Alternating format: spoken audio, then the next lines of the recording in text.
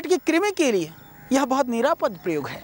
आप इस करेले को और इसके कुछ पत्तियों को, पत्ते उपलब्ध है तो ठीक है। करेले को रस निकाल करके आप गटागट पी जाएँ। करेले के जूस को आप स्वाद लेते हुए ना पी करके आप सीधा बिना सांस लिए पी सकते हैं। तो उससे जो पेट के कीड़े हैं, किसी भी तरह का पेट के अंदर कीड़ा है तो वो सारा निकल जाता है। परंतु इसके एक दोष भी है, बहुत ज़्यादा नहीं सेवन करना चाहिए। मैं समझता हूँ कि जो उचित मात्रा है, वह लगभग 50 एम से 100 एम तक करेले का रस आप पिए। यह एक अनुभूत मात्रा है। इससे जो बवासीर की शिकायत है, पायल्स की शिकायत है, उसमें भी यह अत्यंत लाभकारी है।